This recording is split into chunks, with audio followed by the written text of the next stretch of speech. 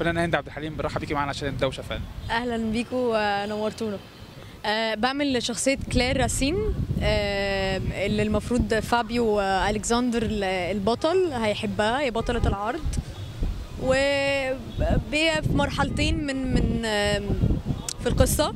المرحلة الأولانية ال- الطبيعية إن هي المفروض عندها بنت عندها 16 سنة بريئة جدا آه، ما تعرفش أي حاجة أهلها خانقين عليها جدا.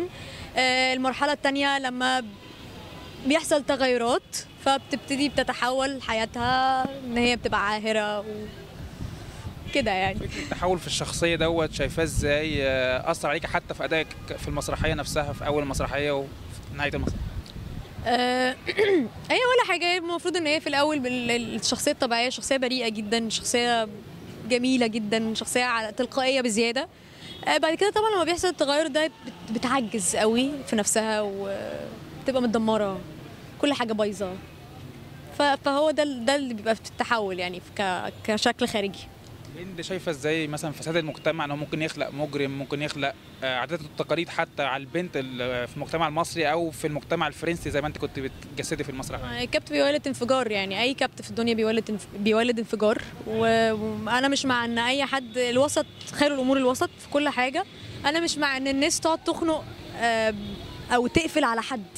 مش صح. يعني المفروض يبقى فيه ثقة المفروض يبقى فيه تفاهم المفروض يبقى فيه تعرف على الحياة على الحاجات عشان البني آدم ما يضطرش إن هو يغلط أو يعمل حاجة من ورا حد عشان ما ي... ما, ما يفجرش. شايفة إزاي حرية المرأة في المجتمع بتاعنا كمجتمعات عربية؟ حر... شايفاها إيه من من من أنهي ناحية هل المرأة واخدة حقها إن في حرية؟ هل مطلوب ان يكون في حرية أكتر ليها؟ هل شيء وجهة نظر الراجل في الم- في حرية المرأة دي؟ أنا شايفة إن في حرية وشايفة إن ال- المرأة دلوقتي بقى في تقدم بقى في تطور آه، كويس جدا إن هي بقت بتاخد مناصب وكل الكلام ده بس مجتمعنا تعبير وشك كفاية ده جهل في جهل كتير يعني آه في في حرية وكل حاجة بس برضو ما فيش الواحد مش عارف يمارس الحرية دي براحته. الواحد بيبقى ماشي في الشارع خايف. ما بيبقاش ماشي ب... حاسس بال... بالأمان يعني. ببقى خايفة معظم الوقت وأنا ماشية في الشارع. لو رجعنا مسرحية تاني التعامل مع محمد مهران كمخرج وكمؤلف شايفة إزاي؟ لا مهران آه، بني آدم موهوب آه، بني آدم محترم وملتزم. وما بيضايقش حد خالص بالعكس يعني يا ريت أشتغل معاه على طول. يعني يا ريت يا ريت كل المخرجين زي محمد مهران. ما خفتيش لما اتعرض عليك المسرحية وكان في المسرحية دي اتعادت يعتبر قبل كده؟ كان ليها عرض قبل كده ببنات تانيين بناس تانية؟ خفت جدا طبعا. خفت جدا جدا جدا جدا. بس هي الفكرة كلها إن مهران جه عرض معايا على الموضوع.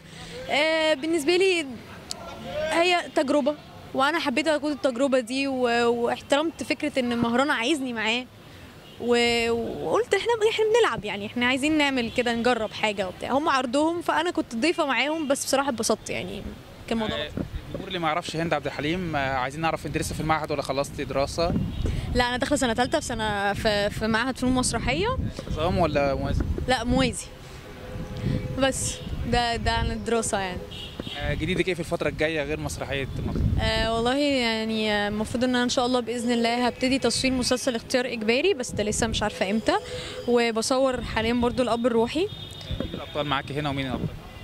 في اختيار إجباري آه، هو بطولة كريم فهمي وأحمد فهمي وخالد سليم و في ممثلين كتير قوي أبطال على فكرة آه، ومعاه محمود حجازي على فكرة في اختيار إجباري آه، في الأب الروحي طبعا الاستاذ محمود حميدة أحمد فلوكس آم، في ناس كتير قوي. دورك هنا إيه ودورك هنا إيه؟ لا دي بقى قصة بقى. لا دي بقى نبقى نشوفها إن شاء الله. نبقى نبقى نتفرج. المسرحيه تتعرض في مهرجان في بولندا. آه، شايفة إزاي فكرة السفر بالعرض دوت؟ وهل ممكن يحقق آه، جايزة هناك؟ آه، يعني والله كلنا نتمنى إن إحنا ناخد جوائز. والموضوع في حد ذاته دي حاجة بتشرف مصر فدي حاجة كويسة جدا حاجة وسطانة. بالتوفيق هند. وان شاء الله ربنا يوفقكم في بولندا وترجعوا لنا إن شاء الله. ميرسي ليك. شكرا ليكم.